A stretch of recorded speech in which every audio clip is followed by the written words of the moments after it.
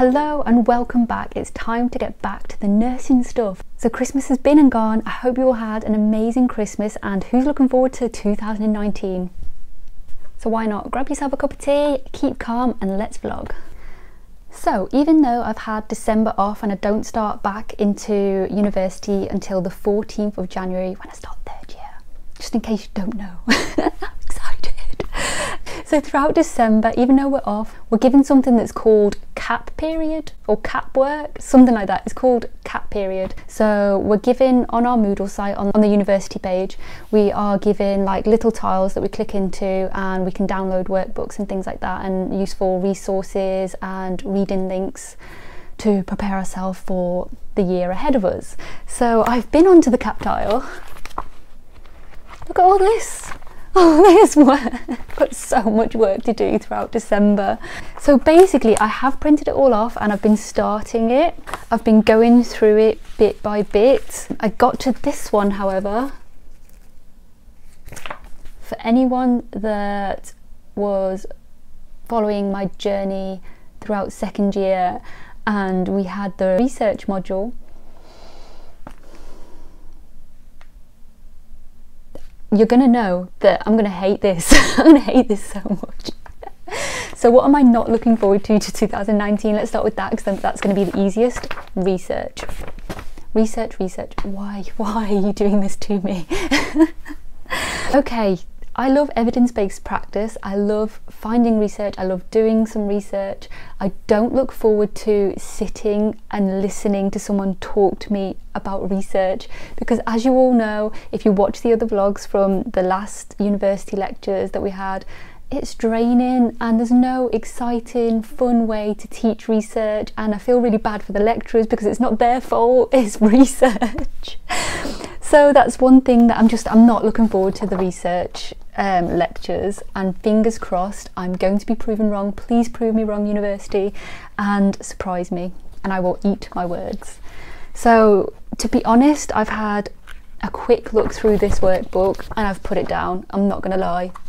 So, my next lot of work I got onto was the preparation for our NP4 exam. NP is nursing practice so basically what we have to do in this one is we have to go back to our previous modules and just refresh our memory on observations and, and what it means to have a high temperature, high heart rate, high blood pressure, all of that. Then our next task was this. So there's a list of different medications at the top and then there's a list down the side of respiratory rate, O2, heart rate, blood pressure, urine output, AVPU, blood glucose and temperature. So we have to guess what each medication could possibly do to somebody's observations so that when we go in and do a set of observations, we know that okay this person's got a lower heart rate than normal because they're on a beta blocker. So then you might not give that beta blocker because it might reduce the heart rate even more and it could be dangerous to that patient. Does that make sense? I hope i'm making sense.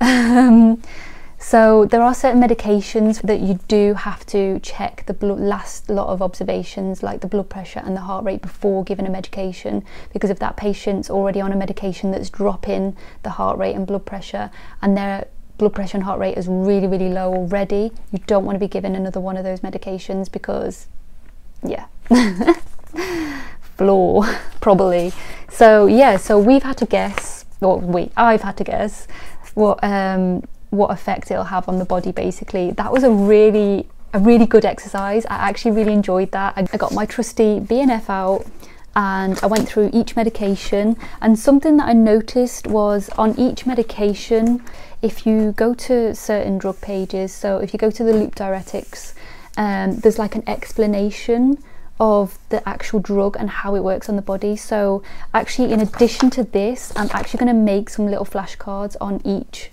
thing. So the loop diuretics, I'm going to go to beta blockers, ACE inhibitors, opiates, um, beta 2 agonists, steroids, and I'm going to write little flashcards for each one just to help me piece everything together, I think, because that's going to be coming in really, really handy for future medication use out there on the wards. And it's something I can keep in my pocket as well. So if I'm ever asked, I can just be like, got it.